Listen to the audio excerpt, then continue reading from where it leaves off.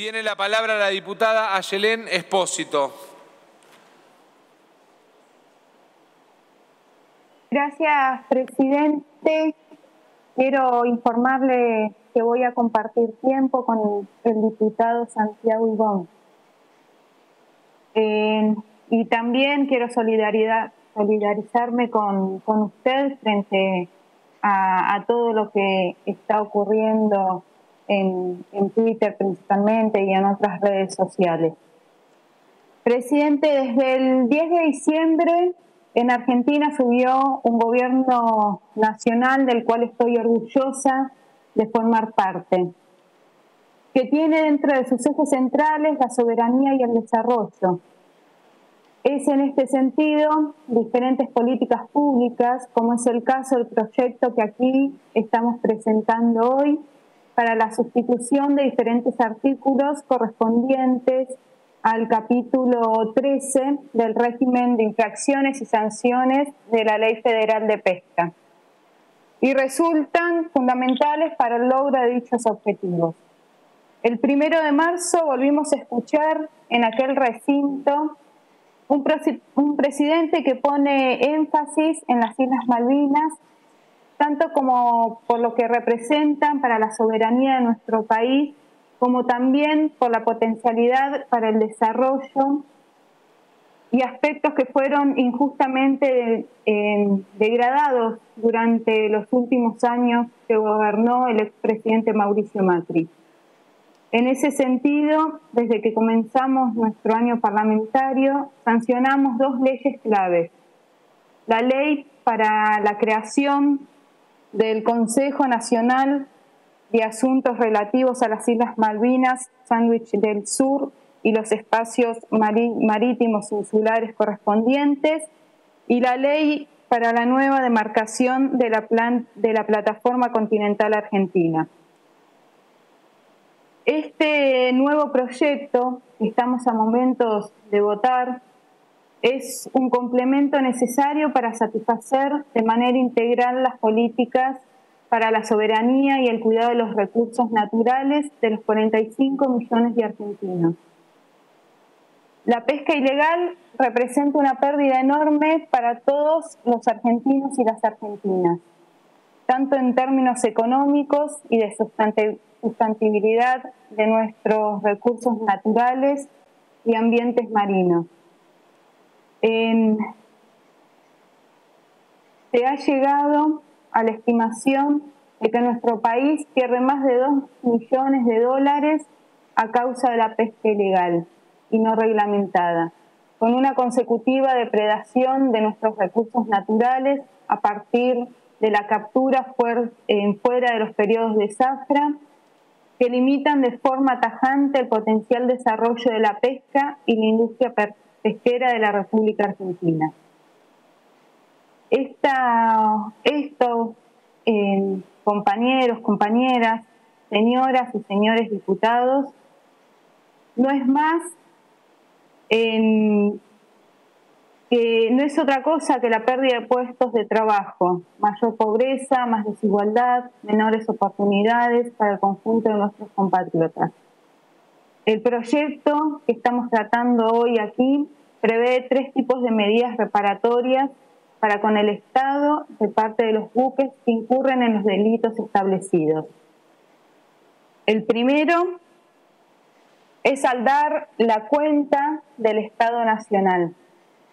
La totalidad absoluta de los gastos en los que incurre el Estado Nacional, despliegue de aviones, buques, etcétera, deberá ser saldada por la empresa propietaria del buque. En segundo lugar, una medida resarcitoria.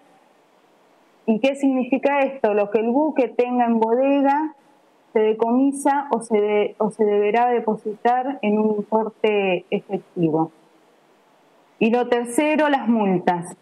Para que nunca más nos pase a los argentinos y a las argentinas que las multas tengan un valor nominal pero no real, se pone como medida la unidad de pesca, que corresponde a un litro de gasoil que se utiliza en los buques pesqueros. Las multas en pesos pierden magnitud por los ciclos inflacionarios, dejando a nuestros compatriotas a la merced de quienes no tienen escrúpulos de quedarse con parte de nuestros recursos naturales.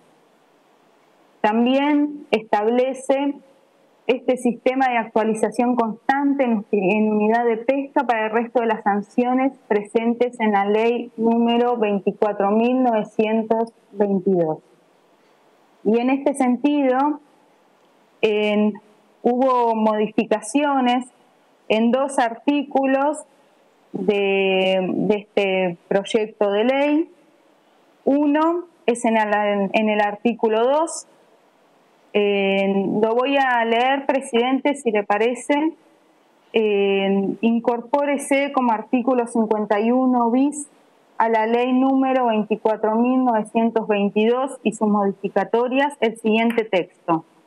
Artículo 51 bis. La sanción de multa será establecida en unidades de valor denominadas unidades de pescas, UP, equivalentes al precio de un litro de combustible gasoil. Y lo que se agrega en este artículo es la autoridad de aplicación determinará el valor moneda en curso legal de las UP semestralmente sobre la base del precio de venta final al público de gasoil grado 2 o el que eventualmente lo sustituya, de acuerdo a la información de la Secretaría de Energía, o autoridad que la reemplace considerando el mayor valor registrado en las bocas de de la Ciudad Autónoma de Buenos Aires. Y después continuaría como estaba planteado en este artículo. Y la segunda modificación es en el artículo 5, que eh, modificaba el artículo 58 de la ley 24.922, en que es en caso de reincidencia, dentro de los cinco años de cometido una infracción, los mínimos y máximos establecidos en el último párrafo, se agrega esa parte, en el último párrafo del artículo 51 bis, se duplicarán.